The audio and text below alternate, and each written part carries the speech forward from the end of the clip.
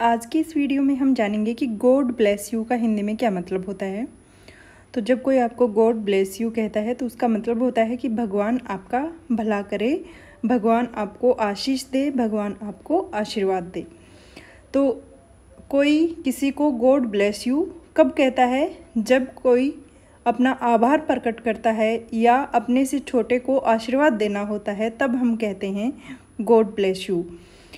For example God bless you all यानी भगवान आप सभी का भला करे या God bless both of you भगवान तुम दोनों का भला करे। या फिर हम कह सकते हैं कि good night and God bless you शुभ रात्रि और भगवान आपका भला करे। तो इस तरह से हम गॉड ब्लेस यू का प्रयोग करते हैं।